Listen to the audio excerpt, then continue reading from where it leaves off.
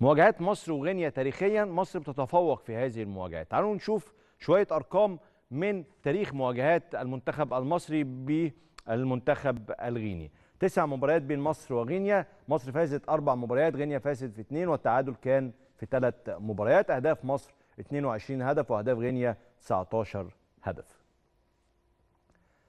أول مباراة بين مصر وغينيا كانت عام 1970 ببطولة كأس الأمم الأفريقية في نسختها السابعة وفاز الفراعنة وقتها 4-1 آخر مباراة بين المنتخبين كانت في لقاء ودي عام 2019 وفاز منتخب مصر بثلاثة أهداف مقابل هدف واحد. حقق منتخب مصر الفوز على غينيا بأربعة أهداف ثلاث مرات أعوام 1970 1976 و2013 ويا رب 2022 أكبر تعادل بين الفريقين كان في 2009 بمباراة ودية وانتهى اللقاء 3 3 وسجل للفراعنة أحمد عيد عبد الملك وحسني عبد ربه هدفين. ده بالنسبة لتاريخ المواجهات